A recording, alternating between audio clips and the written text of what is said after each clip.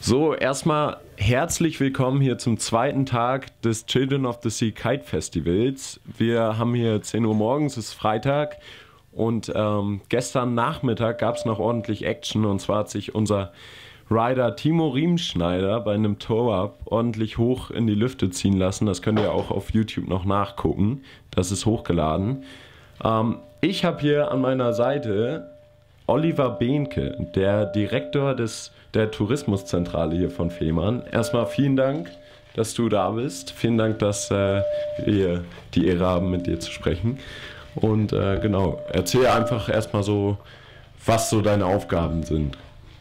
Ja, äh, ich bin hier für den Tourismus in Gänze auf Fehmarn äh, zuständig und auch teilweise ja mitverantwortlich. Wir haben hier auf Fehmarn 1500 Vermieter ungefähr 32.000 Schlafgelegenheiten inklusive unserer Campingplätze.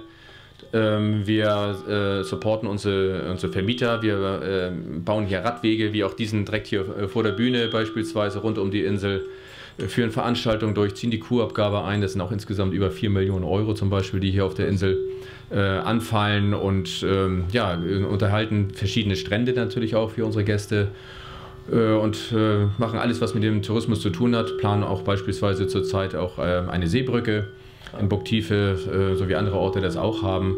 Bauen da gerade einen Aussichtsturm, der fertiggestellt wurde, kostet auch mal eben eine Million. Aber das zahlen alles letztendlich größtenteils unsere Gäste über die Kurabgabe.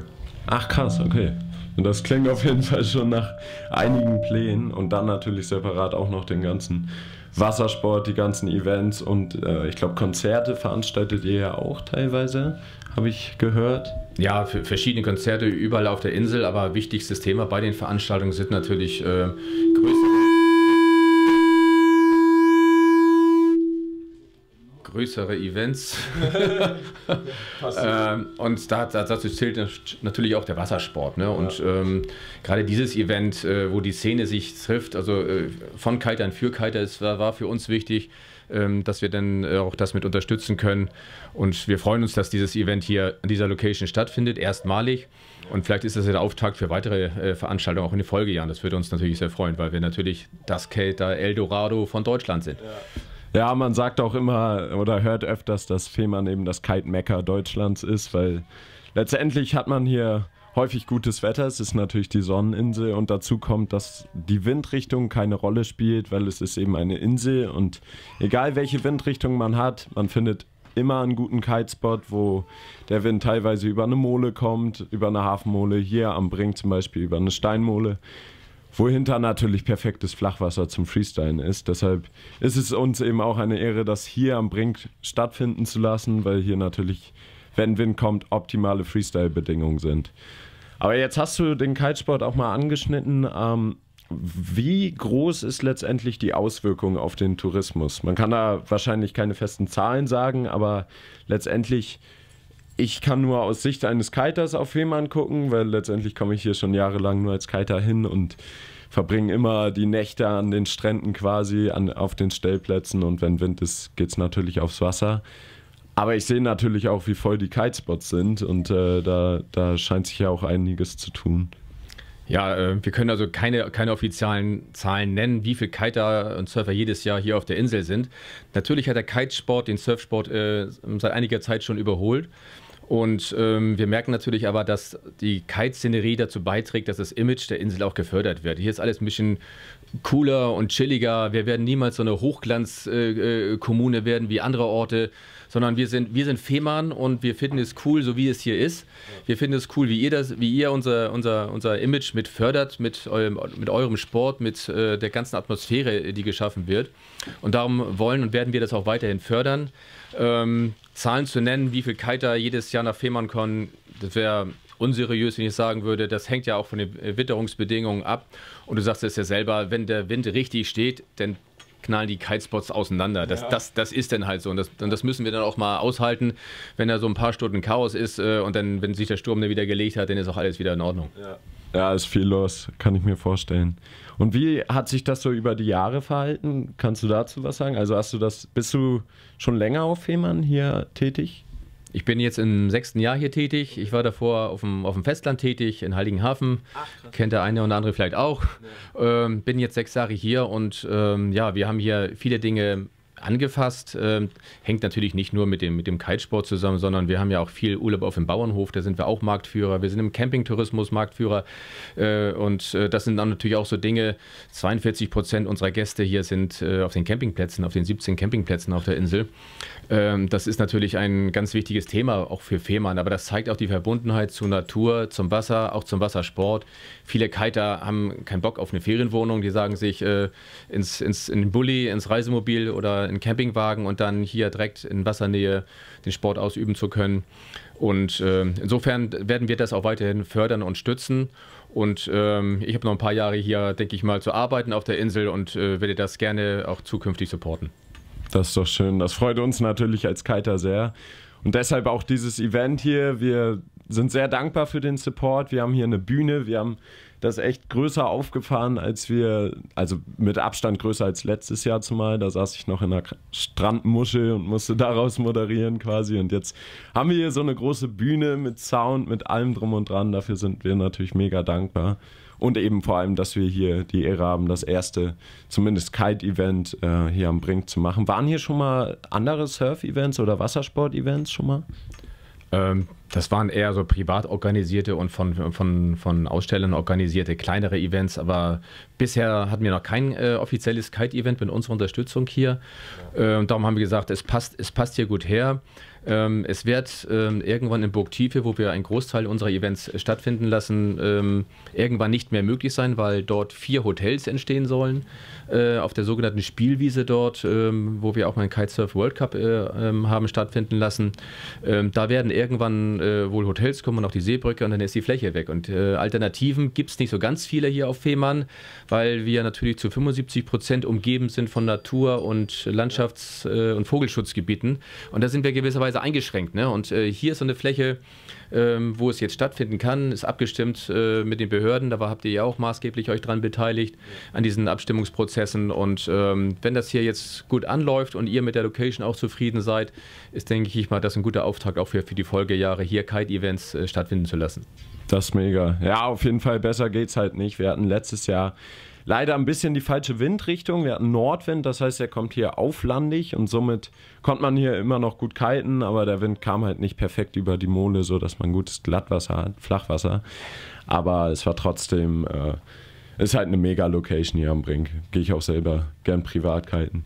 Wie ist das, äh, wie stehst du so zum Wassersport? Wie, du hast ja schon gesagt, das Image, das ist, ist eben cool, ist ja bekanntlich ein sehr lockeres Image beim Wassersport, jetzt nicht, nicht zu glatt geleckt und und und. Ähm, wie sieht das bei dir aus? Was, wie stehst du so zum Wassersport?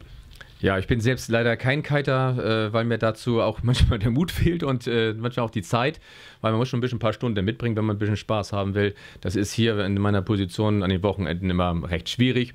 Ähm, aber ich bin Supper, so auch da, auch äh, bisschen auf Geschwindigkeit. Gestern bin ich auch zwölf Kilometer äh, gepaddelt und ähm, mache das auch nicht nur, um ein bisschen mich zu bewegen, sondern auch mal ins Schwitzen zu kommen. Ja.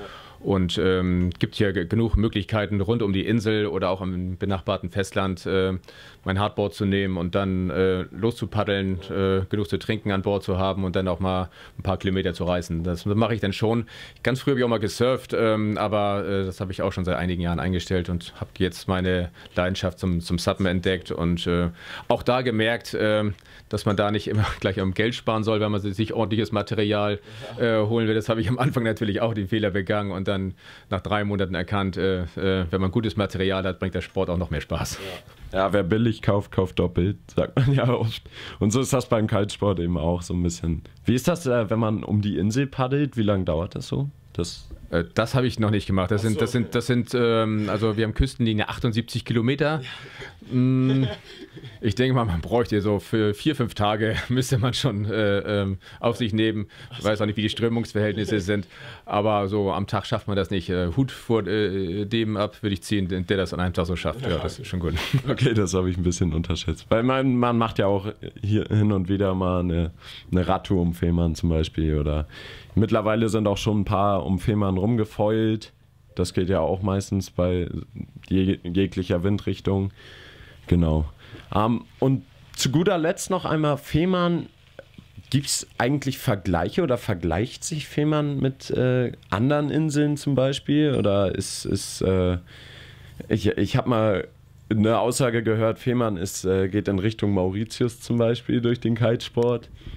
Ja, also wir vergleichen uns natürlich äh, erstmal in Deutschland schon mit einigen Inseln. Wir sind die drittgrößte Insel in Deutschland, die einzige Insel äh, an der Ostsee Schleswig-Holsteins. Ähm, und man guckt natürlich schon nach rechts und nach links, was macht Sylt, was macht Usedom, was machen die kleineren Inseln. Aber wir versuchen natürlich unser Alleinstellungsmerkmal hier zu prägen und in der Tat wird Fehmarn auch äh, mit Mauritius manchmal in einem Atemzug genannt. Ähm, äh, Grund hierfür ist natürlich äh, äh Wind und Sonne, aber auch äh, die Fläche des Stehreviers, äh, das wir hier haben in der Orter Rede. Ähm, denke ich mal, kann man bei verschiedensten Windrichtungen gut und wirklich auch schnell kiten und surfen. Und ähm, wir sind natürlich stolz darauf, dass wir dann auch mal dann in einem Atemzug mit Mauritius genannt werden. Aber man guckt auch innerhalb von Deutschland natürlich, was macht der eine oder andere. Wir vergleichen uns nicht mit Sylt in dem Sinne, dass wir genauso werden wollen, sondern wir gucken schon, was machen die, was ist in deren Zielgruppe, äh, gucken äh, auch nach Rügen natürlich als größte Insel, was machen die und wir finden da unsere Mittel und Möglichkeiten, äh, dass wir mit Fehmarn dann auch unsere Alleinstellungsmerkmale haben. Wir meinen, dass wir im Wassersport äh, da stärker sind, auch als äh, unsere Mitbewerber in Deutschland. Äh, und bei Urlaub auf dem Bauernhof, sagte ich ja schon, ne, beim Campingtourismus ähm, sind wir dort auch sehr, sehr stark. Und äh, wenn man bedenkt, auch dass wir hier sonst so normal 14.000 äh, Betten in Ferienwohnungen haben, ist auch dieser Sektor stark besetzt. Ne? Und insofern sind nicht nur unsere 17 Campingplätze äh, ganz wichtig, sondern auch unsere kleineren Stellplätze. Gerade für die Bullifahrer, für die Kiter, die nicht wissen, wohin mit meinem Bus. Das ist ein ganz großes Thema, gerade äh, auf Fehmarn. Das, das, äh, das, war im letzten Jahr ganz stark, als äh, MacPom dicht hatte, die Nordsee hatte dicht, Dänemark hatte dicht und alles ja. kam an die Ostsee, Schleswig-Holstein. Da brannte hier richtig die Luft. Und dann mussten leider einige Maßnahmen getroffen werden, um das Ganze so ein bisschen zu ordnen. Ähm, aber ähm, einige Campingplätze haben ihre Kapazitäten jetzt erweitern können und darum sollte jeder seinen Platz finden, auch an der Stelle, wo er das darf. Ja, ja das fand ich, äh, ja, das fand ich eh bewundernswert, weil letztendlich, das war ja, ich will das Thema nicht groß anschneiden, aber von quasi kompletter Schließung zu Öffnung und mehr los denn je, schätze ich mal. Also aktuell die Leute sind nicht mehr so viel am Reisen, wie sie es waren, am Flugreisen machen, sondern äh, kommen hier auf die Insel. Das natürlich, aber aktuell war das jetzt äh, erheblich diesen Sommer, was hier los war im Vergleich zu vorherigen Sommern? Also wir haben im, im letzten Jahr äh, ein, ein ganz starkes Jahr trotz dieser Einschränkungen ähm, erlebt. Wir haben ähm, die, die meisten Übernachtungen aller Zeiten hier auf Fehmarn gehabt, obwohl wir Ostern dicht hatten, Weihnachten dicht hatten. So, jetzt hatten wir Ostern dieses Jahr wieder dicht, äh, werden aber sicherlich äh, das Weihnachtsgeschäft mitnehmen können. Letztes Jahr war Fehmarn zu 49 Prozent ausgebucht und mussten wir die äh, Gäste von der Insel schicken. Das war, wow. Und das war Ende Oktober. Ne? Das hatten wir noch niemals so krass. Ja. Und wir denken mal, dass äh, das dies Jahr ähnlich wird. Also, und wenn danach das Weihnachtsgeschäft dazukommt, trotz dieser Corona-Einschränkungen, denke ich mal, werden wir ein ganz, ganz starkes Jahr wieder bekommen. Also ich denke mal auch so bestimmt so stark wie das letzte Jahr und wenn nicht sogar noch stärker. Okay, krass. Wie äh, Weihnachtsgeschäft ist das äh, als Kiter? Es gibt natürlich so die harten Kiter, die auch im, den ganzen Winter durchkiten, die auch bei gefühlt Minusgraden und Schnee aufs Wasser gehen. Ähm, ich gehöre leider nicht dazu. Ich, äh, ich mag es lieber in, in, wärmeren Bedingungen kiten zu gehen. Aber wie ist das? Ähm, Im Winter kommt da trotzdem noch viele Kite-Touristen oder es wird wahrscheinlich erheblich weniger, aber allgemein Tourismus? Ja, kommt deutlich weniger natürlich, ne? aber die, die Freaks, die dann aufs Wasser gehen, das sind die ganz harten dann auch, muss man sagen. Ne? Also auch die im, im Januar, Februar äh, dann rausgehen, dann stehen hier die Gäste und schütteln nur mit dem Kopf und sagen nur, die spinnen. Ja. Ähm, und dann, wenn das dann abgeht, dann sind, haben die doch alle höchsten Respekt vor der Leistung, die auch ja. da gezeigt wird. Ne? Und äh, wenn die dann mit lila farbenem Gesicht wieder, äh, wieder an Land kommen, durchgefroren und sagen, geil, dann schüttle ich auch den Kopf, aber sage, gut, wem es gefällt, ein Glück, dass diese Menschen dann auch auf die Insel kommen ja. ähm, und auch ihren Sport dann weiterführen. Nee, ansonsten haben wir ein richtig starkes Weihnachtsgeschäft, okay. äh, sind dann voll ausgelastet hier, ist Hauptsaison. Echt? Äh, zwei Wochen lang dicht kann man sagen, seit, das ist so ein, so ein Trend seit fünf, sechs Jahren. Ne? Es ist wirklich denn voll. Also in Deutschland Urlaub ist wieder sexy geworden. Früher hieß es so, wer in Deutschland Urlaub macht, ne, mh, hm, ging so. Äh, mittlerweile äh, sind die Orte dicht und ja. äh, auch ob es Scharbeutz ist oder Grömitz und das, oder auch die Nordsee, alles äh, Spots, die äh, zu Weihnachten super besucht sind. lassen wir uns auch entsprechende Programme einfallen. Ja. Und äh, dann gibt es natürlich eine ganz ruhige Zeit auch. Ne? Klar, der November ist etwas ruhiger und dann von Mitte Januar bis Ende Februar ist auch deutlich ja, ruhiger. Ja, ja. Naja. Aber krass, okay, das wusste ich zum Beispiel gar nicht, weil bei mir war Fehmarn immer so ein, so ein Frühjahr, Sommer, Herbst-Ding und dann Winter halt äh, so gut es geht ins Ausland oder wie auch immer. Gut, Oliver, ich danke dir. Das war, war sehr interessant, das mal zu hören. Fehmarn mal von einer ganz anderen Seite zu betrachten. Nicht nur nicht nur Kiten, sondern auch die anderen Tourismusbereiche und mhm. genau, was jetzt noch so ansteht. Vielen Dank Gerne. und okay. äh, es hat mich gefreut. Gerne. Und vielen Dank auch nochmal für den großen Support hier für das Event. Gerne. Okay.